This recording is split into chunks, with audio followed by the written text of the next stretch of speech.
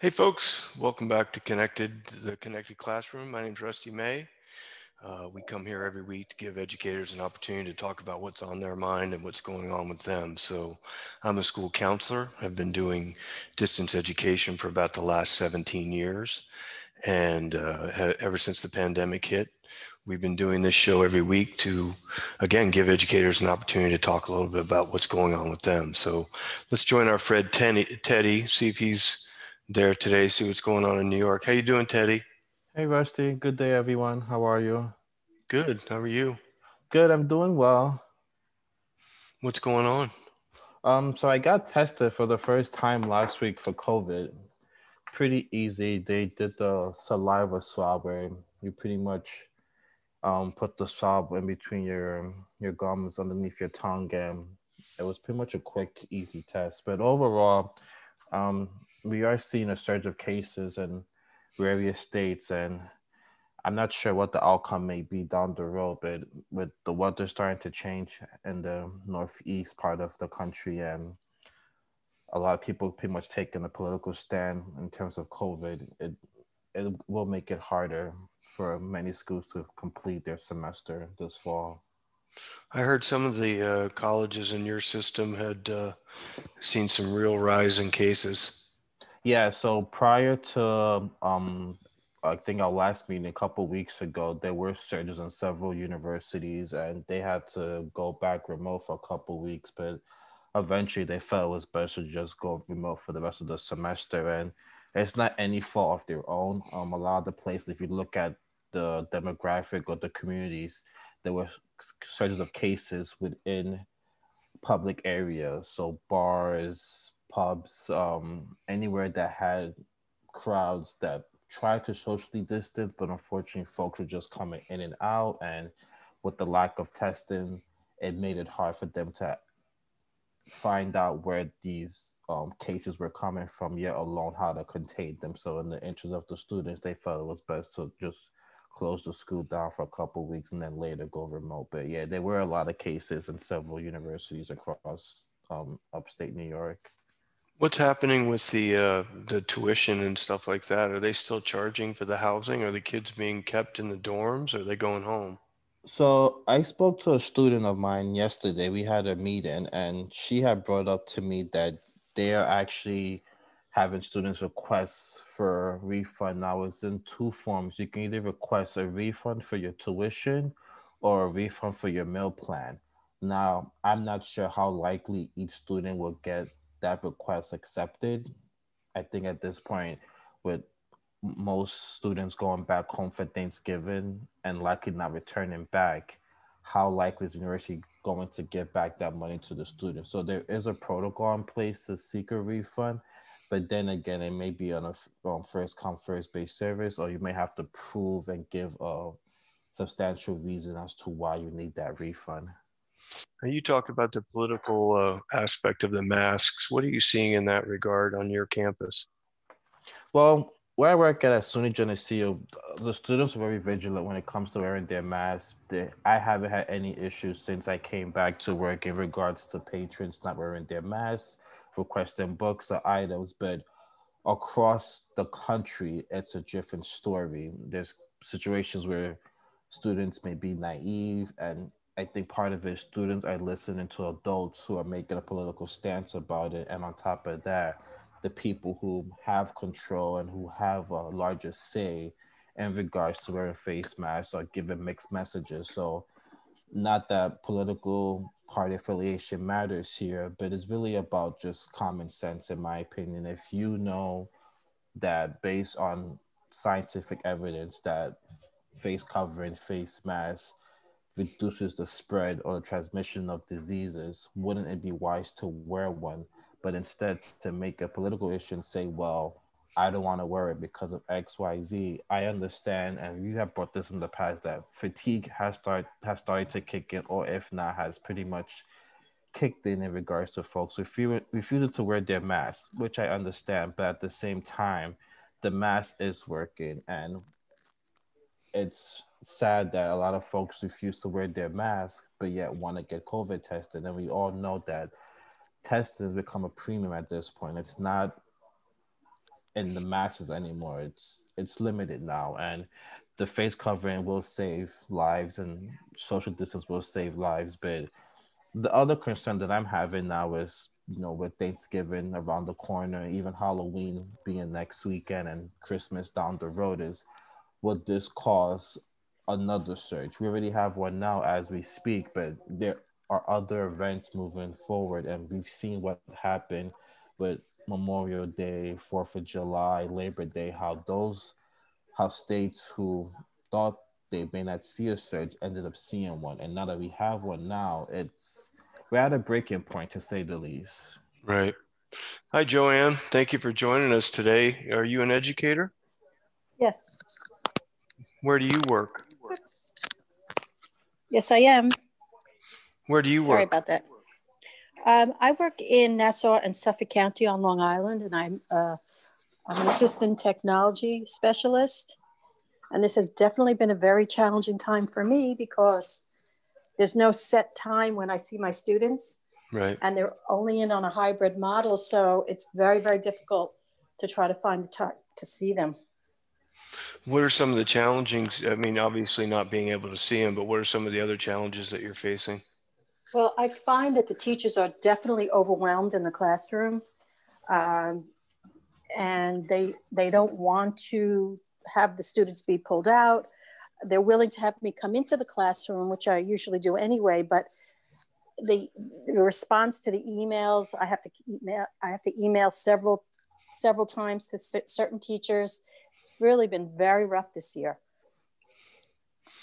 Teddy, what are you seeing in your staff um, at, at your college about uh, how they're reacting to everything that's going on? So I think what I've noticed is staff who come to campus to work don't have an issue with coming to work. It's just the issue of what they can't control. If you have a family and your child all of a sudden goes to class, then has to go remote, how do you handle that? How do you make sure that my child is taken care of while knowing that I may I may have to work remotely one week. I may have to go to campus to teach one week. I may have to travel. I may have to attend an event.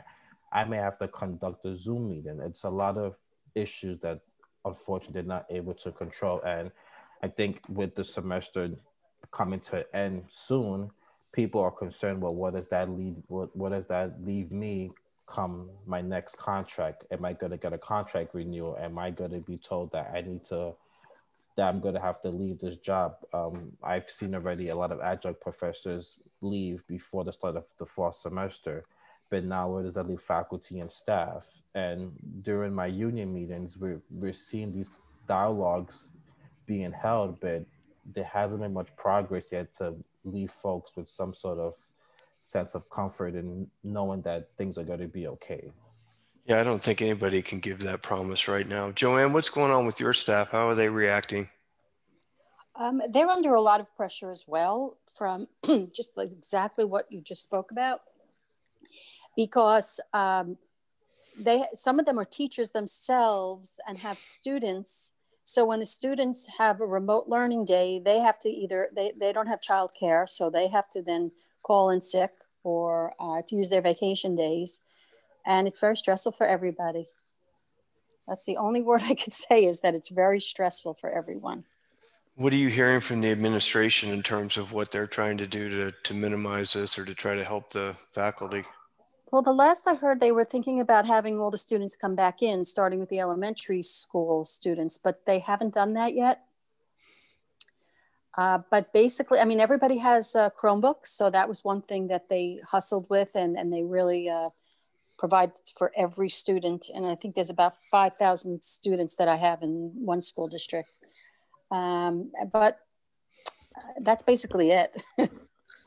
Well, we just reading some research today from Europe um, saying that in major uh, studies that were done in Germany and Norway um, and a couple other countries as well, that they don't uh, see that schools are uh, super spreaders, especially elementary schools, and the higher up you go. So I think they're going to start moving in that direction. At least, hopefully, they'll start following the research and say that kids really aren't at risk as much as that. But to go to, to Teddy's point, though, you know, what does a teacher do if their student, if they have a kid that's in school and that kid has to stay home? Um, there isn't any effort right now to try to assist teachers. Uh, they're just having to use their uh, either call in sick or take a day off. Is there any anything going on to try to help teachers deal with that conundrum? Uh, not that I've heard of. How about you, Teddy? Anything going on with the colleges and helping the teachers out in those situations? No, I think the best thing I've heard is in regards to I guess when you're traveling. So right now, or as of yesterday, New York State's travel advisory, um, the travel advisory currently has 41 states, which now includes New Jersey and Connecticut, which is part of the tri-state area if you add New York. And if you go to any of these states, you have to quarantine or self-isolate for two weeks. So if you were to travel there and you come back, you can isolate for two weeks without having to use your sick day or vacation. But a lot of folks are trying not to travel. And I guess the issue is now, well, what is that going to do if I still have to take care of my child or I still have something to do that does not pertain to traveling? Can I still take these days off? And a lot of people just aren't sure what to do at this point. It's a matter of do I isolate myself because I might have been exposed, or do I just try to continue moving on? And I know a couple months ago, one of my colleagues happened to go to Chicago and she had to isolate for two weeks because it was part of the travel advisory at that time. And even now, with so many states, it's just hard to to trust people and say, okay, if I know I'm going to go here, I'm going to come back and just isolate, but rather they might just go back to work because they don't have any symptoms. So, what are the major concerns that you have personally, Joanne, in terms of what's going on now with all this stuff that's happening around? What What are you thinking about as as we come up on the election and we come up on, you know, obviously we talked about the uh, the idea that the surge is coming back and so forth. What are the personal issues that are really concerning you right now? Um, the fact that uh, one that mask wearing is a political um, issue, which it shouldn't be. Um, also, just that I feel that the students are not getting their education this year. They're doing the best they can. Everyone's doing the best they can. but I just don't feel that they're going to be um, excelling this year. You think about that though, in terms of the the economic fallout from all of this, and I, I have no sense that we're we're even close to understanding what the economic ramifications of this are going to be. Uh, kids being in a hurry to keep moving forward and to continue on the normal trajectory of education um, in terms of graduating from high school and going to college and so forth. I mean, it it doesn't seem to me i don't know what you think but it doesn't seem to me like that trajectory is still there. It doesn't it seems to me like the whole economy and everything else is going to take a step back for an extended period of time. Do you how do you have any thoughts on on that part of it? For me i, I still see uh, 11th grade students still working hard trying to think about what college they're going to go, get into um, I still see, I don't see a shift yet of that. Uh, probably will happen, but I still see right now that these students are still trying to get into their colleges. I also feel that um, what really should, I think what should happen is there should be really more project based um, work for these students. I mean, they are sitting in front of a computer all day long, and each, even though they don't have as much homework this as they usually do, they're still in front of that computer all day long. And I just feel that instead of having, you know, someone come on for art and and and um, phys ed and that they should do some kind of they should do projects so that they can con- condense their time on the computer and do more a little bit more creative work and have that handed in i i just feel that it's too much for them on the computer all day long. And I and I am in assistive technology. I I love the computer. I think it's wonderful, but I just think it's just too much for them. There's been a lot of writing recently about taking more personal responsibility for our educational pathway, and it sounds kind of like what you're talking about, giving students the option to really learn at their own pace and to, you know, create a project, how they respond to information, how they, you know, give feedback, whether it's video or they do a podcast or they do something like that. It it seems like an amazing yes. opportunity to give kids back their educational um, kind of their kind of take control but you're not seeing that with your teachers or is it the administration that's saying they have to be online all day uh, that's just the, the rules basically. Yeah i think it's the administration that this is what needs to be done. Are they worried at all about ada are they worried about whether the average daily attendance are they trying to keep track of that? Is that going to become an issue going forward in because i know teddy has talked about the college situation and, and they, they could be coming up to a huge financial problem. But from a public education standpoint, has there been any discussion about that in terms of how many kids are showing up online or is the money going to, how is that going to work out? Do you have any sense of that?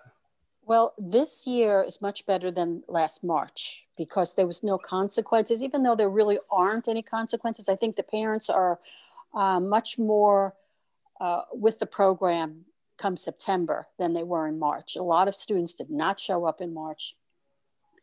But um, they take attendance. And so if the student is on at all, even if they're on for the last five minutes, because I've been hearing that they do that in high school sometimes, they'll come on for the last five minutes. They're still uh, marked present. And there's no distinction between whether they're online or whether they are in the classroom. Hmm, They're present, gonna... so they'll probably still get the funding. Okay, we just had a new join us, Odiva, Odivu. Are you there? Would you like to say hello? We're just having a conversation about what's going on in the classroom. Are you? Let's see, get her to join us.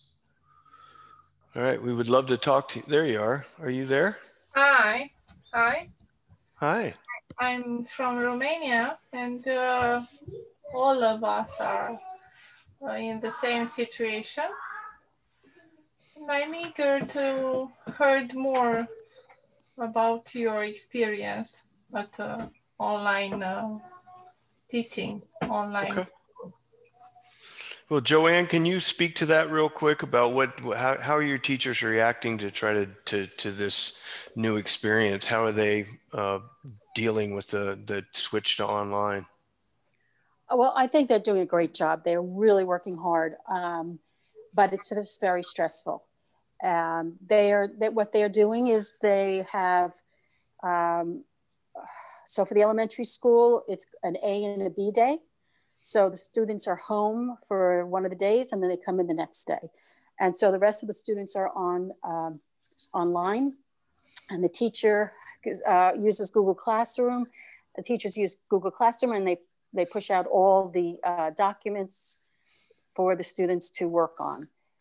Then in the middle school and the high school, it's A through D. So the, some of the high school students don't come in until like one day a week on one week or two days a week on the next week.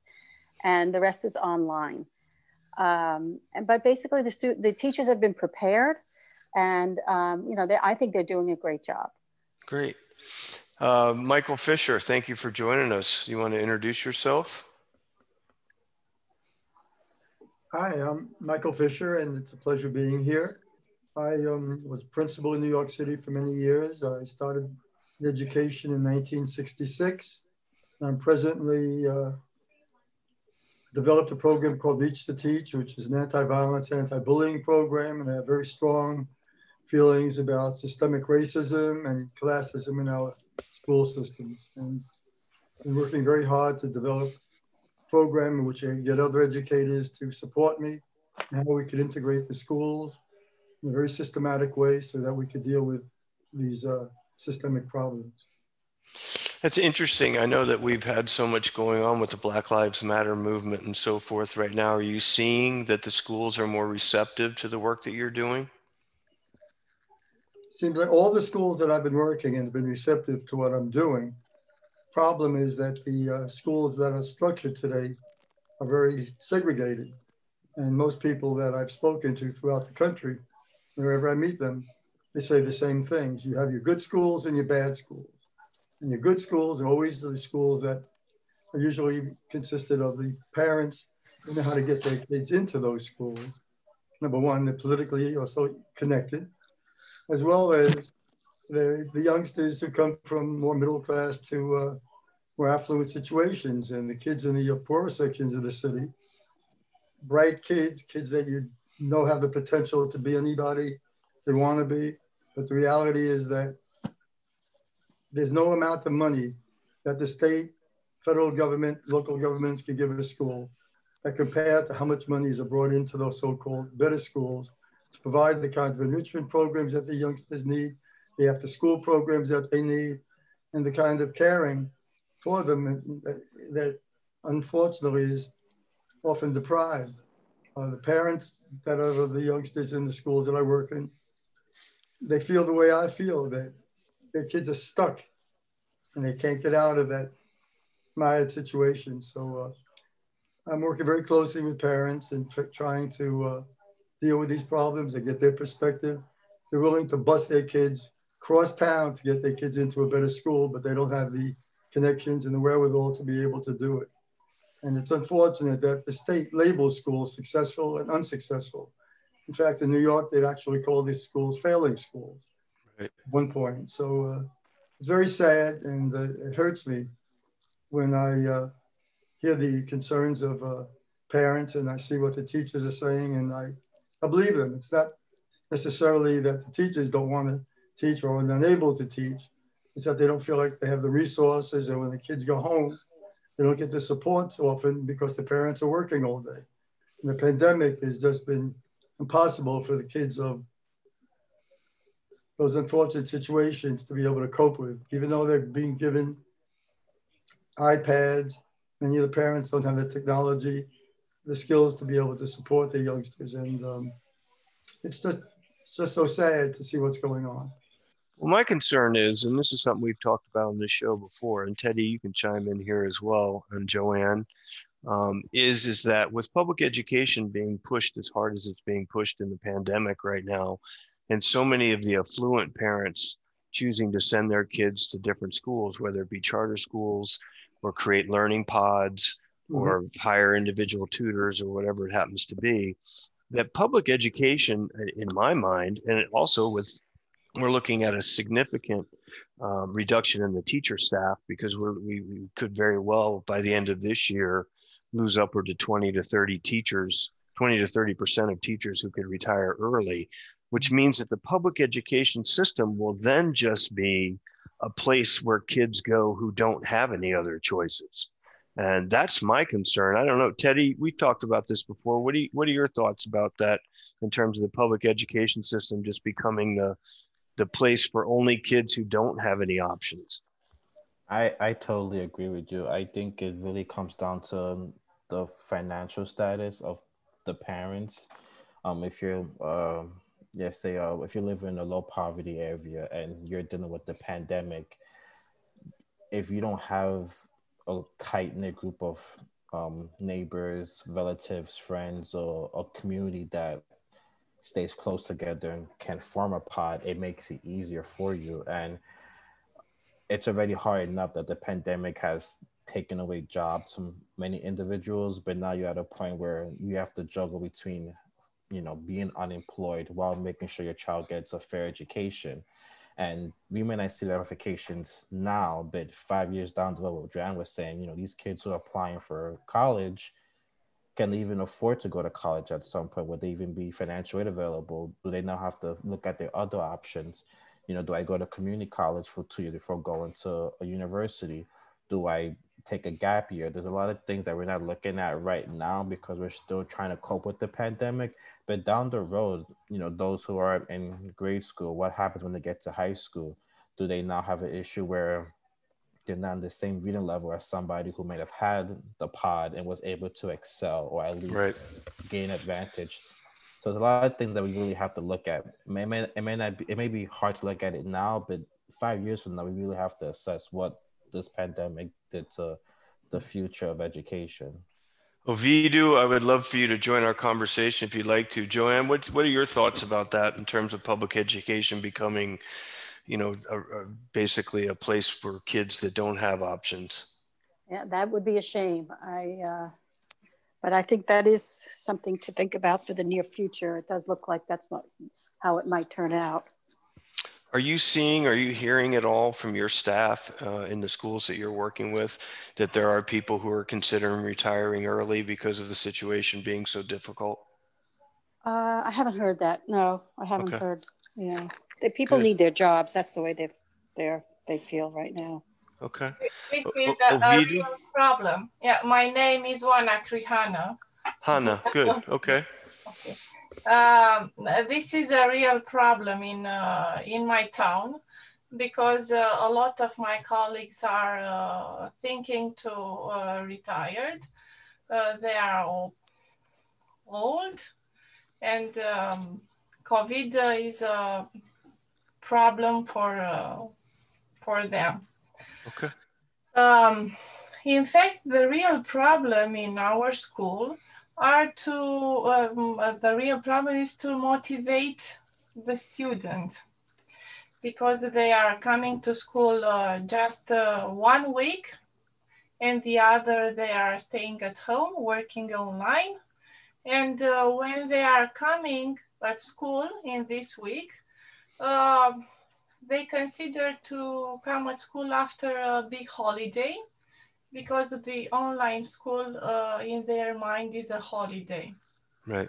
Even if we are trying very hard to uh, learn about uh, many, many apps.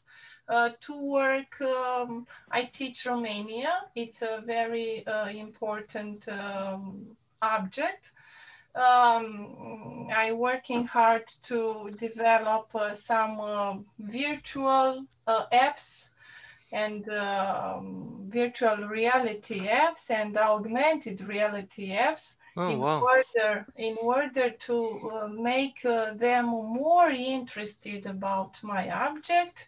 Um, my whole hour, hour it's a very big uh, playing area, but no, uh, our government doesn't help us very much.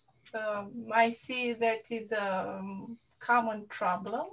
Yeah. Um, and um, I'm scared about my future.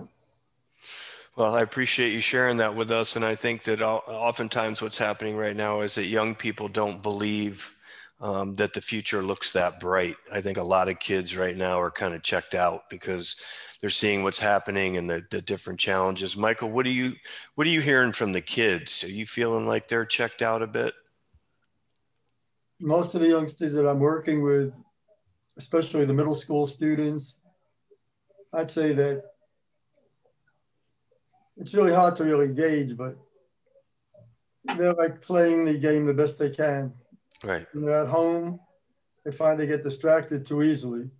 And when they're in school, they're just happy to see their peers, and it's become uh, like a social gathering, even though they're separated in, the classrooms and whatnot. It's certainly not the same, and uh, they don't consider it a real learning experience the way it obviously would be if it was school way it was. But the home experience, unless they are the most motivated of youngsters, um, the kids who are really not that motivated when they do homework or do anything at home are the ones who are really suffering the most right now because uh, it's a waste of their time. That's what yeah. told me. I'm being truthful. It sounds exactly what Hannah's dealing with. I don't think there's anything different between Romania and New York City and any other place in the world. All these kids right now are looking at all the situations around them and they're listening to the the challenges that are going on and they're just kind of like who cares you know what mm-hmm. difference does it make joanne what do you what are you hearing from your kids um, are you feeling like your kids are you were saying that a lot of the 11th graders are still motivated trying to get into the college of their choice uh, do you work with younger kids as well do you get a sense yes. of malaise um, in, I, the, the not really. Uh, the elementary Good. school kids, they're okay. They, you know, again, they they come in and it is a social experience for them. They are very happy coming into school. Um, I also find actually some of the high school students that are have social issues that they are very happy at home and they Yeah. they're starting to be a little bit more successful, which was very surprising to me. Um, they prefer to be at home and work on the computer and just be isolated. Um, but the the younger kids are fine. Um, they just like I said, they just like to come into school. The younger ones, middle school, I don't see a problem either. They they um, they're they they're fine. They they're coming into school when they need to, and then they are at home doing their work. Now, the socioeconomic situation in the schools that you work in is upper middle class. Well, it's very interesting. I work in a, an upper middle class school, but the one that I'm talking about is not. Uh, it's uh, no, it's not upper middle class. Okay. That's Yeah. exciting. And we are here we are hearing that from more and more teachers who are talking about the fact that that ki- you know the disenfranchised kids who didn't like school because of the social pressures associated with it are doing excelling amazingly online. And so there's going to be a lot of positive that comes out of this in terms of you know a hybrid model being you know very workable and so forth. The problem that we have in the united states is is that it's become a daycare system so that parents can go to work. And until we answer that question and i don't know how it works in romania hannah but in the united states for example our public school system is basically our daycare system. So once a kid turns six you can dump your kid off at school and you can leave them there almost you know from seven o'clock in the morning till I don't even know five or six o'clock at night. They're feeding them two meals a day and so forth. So it's become a much bigger thing than just the public education system. I don't. What's it like in Romania, Hannah? No, it's not our case. Uh, the um, people go to school uh, about five, six, or seven uh, hours without uh, having uh, any meal. Um, Wow. So um, uh, there are some private schools um, where the, they uh, receive um some meals, but in public schools, uh, no, uh, no food. How old are these kids? Uh, my uh, my middle ages mm, between uh, 10 and uh, 14. Wow. Mm, yeah, 14. That's that's fascinating. Teddy, what are you hearing from the students on the campus? I know you talk to a lot of the kids that come into your library and stuff. Are they are they feeling confident? They feeling like things are going to move forward? How are they feeling? I think optimistic is the word when I talk to my students. A lot of them are a year or two away from graduating, but they're really focused on just trying to finish the semester. And I think when the university announced that we're they were going to um, have the option to not return after Thanksgiving, it was a sign of relief for them because they knew that at least they can be at home, finish the semester, and then focus on the spring semester. Mhm. but next semester i think is where i may start to see concerns because that'll be you know it's towards the completion of the academic year. So what happens by then? Obviously things are going to change nationally across the country by the end of this year. But by next semester financially you know can one of my students be able to come back prior to the pandemic or at least prior to you know the restart for, from the school that i work at a lot of students have already made the mindset that they're not coming back. They rather do their classes remotely. Others just took a semester off. So now, if the spring semester kicks in, would these same students I'm talking to now would they come back? That's my concern. I don't know their financial situation, but would their parents be able to afford tuition? Would they able to afford room and board? Would they able to afford just being a college student, knowing that you have to buy books, you have to eat. Um, yes, you will have a job since you do work at the university, but everything that we can't control, how does that affect them? So that's really my concern. Okay, uh, Michael, I would really appreciate if you'd send me some information about the program that you're talking about. I I do uh, daily videos for kids that I've been doing for the last 17 years, talking about you know things like what you're talking about, not as much about the uh, the integration issue and, and, and about uh, you know uh, systemic racism and so forth but i would love to see your resources and see um, what you're doing out there. Maybe i can share it with some of my teachers as well because i know that when people are, are starting to wrap their head around this more and, and really understanding the differences and and trying to teach kids how to to understand race and to talk about race and to begin to to have an open conversation about this. So please, if you can send it to me in the chat, maybe you can send me a, your your website or wherever I can get more information. I'd really appreciate it. Um, we're coming up on our 40 minute mark, so I want to give everybody an opportunity for kind of a final comment. We have a lot of people that watch the show and recording um, as part of the the uh, emergency uh, uh, learning summit that is being put on by Learning Revolution. So, some positive thoughts to kind of end the day. Um, Joanne, some positive thoughts from you in terms of what you're seeing. I know you said it sounds like you're you guys are killing it. You know, it sounds like your teachers are doing great and your students are motivated and everything else. Anything, any positives that you want to leave our audience with? Um, no, I think you summed it up. Yeah, well, congratulations. It's really fantastic that, uh, and obviously you're a big part of that. So thank you for all the work that you're doing. Teddy? Thank you. Yes, I guess I want to end up by saying that we should keep this conversation going, whether they be here amongst our fellow co-workers, staff members, but we're not going to have the solutions to all the problems, but at least finding ways to handle them. I think it definitely helps a lot. And I know personally coming to these weekly episodes with you and talking to you and talking to other um, individuals definitely helped me have a better outlook in terms of what's going on. But you know, just get a sense of how other people are feeling and at least come to some solution or ways of you know positive outcomes. So I think my what I want to say is to keep the conversation going. And yeah, and please do invite people to, you know, we were, when Teddy and I started this, we had maybe 20 to 25 educators coming on and talking about what their issues were and so forth. And this is not a place to solve problems. This is just kind of a place to share information and to, to kind of let some, you know, let, let some of your thoughts and feelings go. It's a safe space to talk and, and to share your thoughts. So if you've got other people who are interested, please invite them. We're here every week at the same time. So Michael, any final thoughts?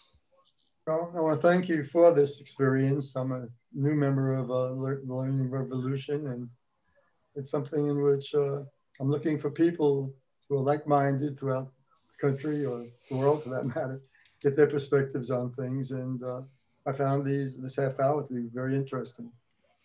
All right, I'm going to send you my email address. So it's in the chat right now, rusty at schooltoolstv.com. Send me some information about what you're doing, and I'll try to get it out to other people who are doing what you're doing as well. So thank you, everybody, for being here. Thanks for all of you that are watching or listening to the podcast after the, the fact. This is the Connected Classroom. I'm Rusty May. Um, and again, thank you for the work you're doing. You're the boots on the ground and you're touching the future. Look forward to seeing you next week. Um, have a fantastic day.